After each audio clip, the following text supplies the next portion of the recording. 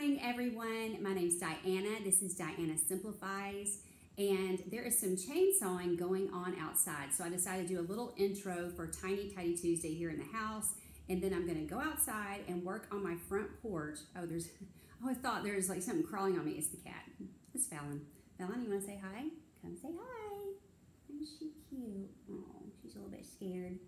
That's Fallon. She got pretty green eyes. Look at everybody. You're so pretty. There you go. Okay. Yes, Mila.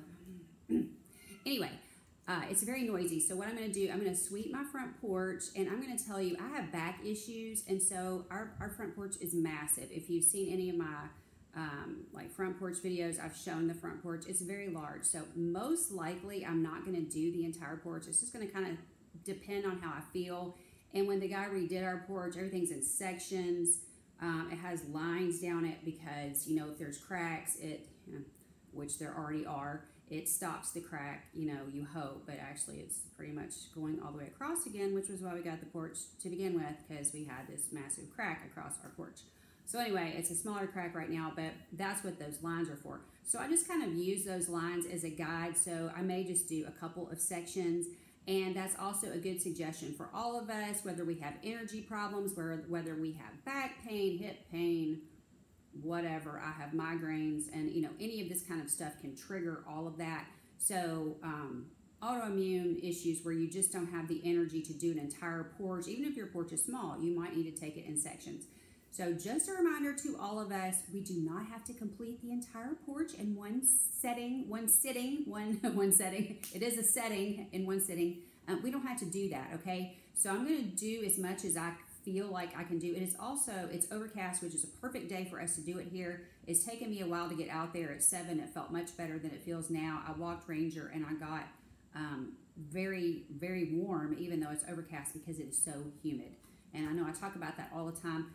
We are used to humidity. It's humid here all the time. It's nothing unusual. If we have a day of like 40% of humidity, we're jumping up and down because that's so unusual for us to be like at 40. It's always 60, 70, 80. I have a feeling it, it almost feels like it's 90% today. So um, you will understand if I just kind of am like too hot and quit, you'll, you'll get it.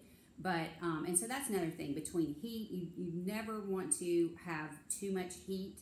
You want to make sure you're drinking plenty of water. You might need, we, uh, Spencer and I both drink quite a bit of Gatorade. Now, obviously, if you have salt issues, you cannot, you'll, what do you, um, you'll retain too much water, but we can do that. So, you know, just keep that in mind. You need to make sure your electrolytes are okay, whatever that means for you.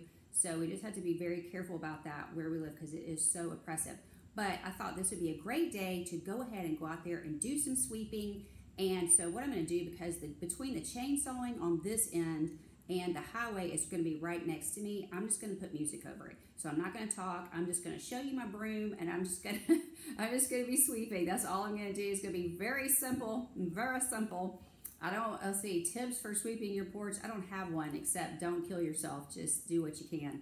And like I said, have back pain ever since I was 16. I see a chiropractor about every two to three weeks and he keeps me straightened out. But um, sweeping is not a good thing for me. I don't enjoy it.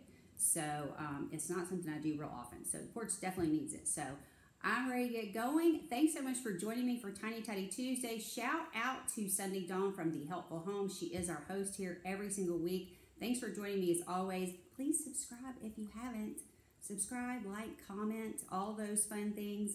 Definitely leave me a comment. If you have any kind of questions about anything that I'm doing ever, leave me a comment. I, I reply to everyone, okay? I, I pretty much always, unless you're leaving one of those nasty comments, I, I and I report those.